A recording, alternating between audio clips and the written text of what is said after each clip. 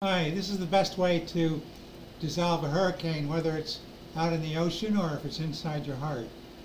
There's three steps to it. First one is to ask yourself a question to get yourself into neutrality, to get rid of any negativity that you might be carrying with you because you know life's hard. And you do that by asking yourself the question, why do I love discovering what's between me and loving kindness? And I would suggest you do it twice. Second time, focus on the word love. Why do I love discovering what's between me and loving kindness? So that whenever you you can use this question anytime for any any issue that you have, big or small. It will help you move from the evidence of why you feel bad to a new place of neutrality. Because when you say it the first time, you focus on the word discovering, and your mind automatically, your brain, hardwired to find the answer, it puts you in neutral, in neutrality. And then when you say loving, it puts you in positive mode with gratitude. So once you've done that, the next thing you do is you recall the most joyous time and moment in your life. For me, it would have been holding my son when he was first born. Um, if you don't have a time like that, or, or any that you can recollect, create one that you wish would happen and get that feeling. And the idea is to get the feeling in your heart. You drop the circumstances totally. It has nothing to do with me holding the baby. It's me feeling that energy, and the more intensely I feel it, the stronger it is.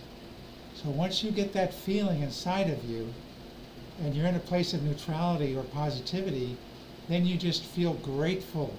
And I suggest you feel grateful to God for, for that feeling that you have inside of you. And love God. And even praise God. If you believe in God, praise God. And if you feel any kind of negativity come up, maybe you feel guilty about something, something you've done wrong in the past, be grateful to God that He forgives you. He forgives you.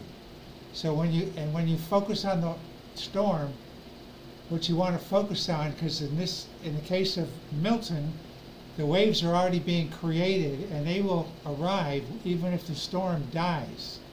So what you want to focus on is not avoiding the damage or getting the storm away or any of those are those are actually negative thoughts.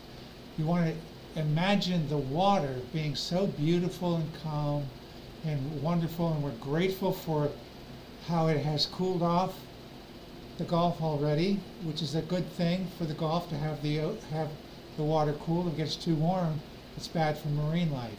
So we're just so grateful. And the longer you can do this, the more powerful it is. The more people you can do this with, the more powerful it is. So, but you can do this, and it, you don't have to be doing it simultaneously with someone else because there is no time in this process. It's all about feeling present. Feel the presence right here. Lightly touch your hand to your heart you can close your eyes when you do it and just feel that joy and create that joy. And, you know, for me, it was a baby.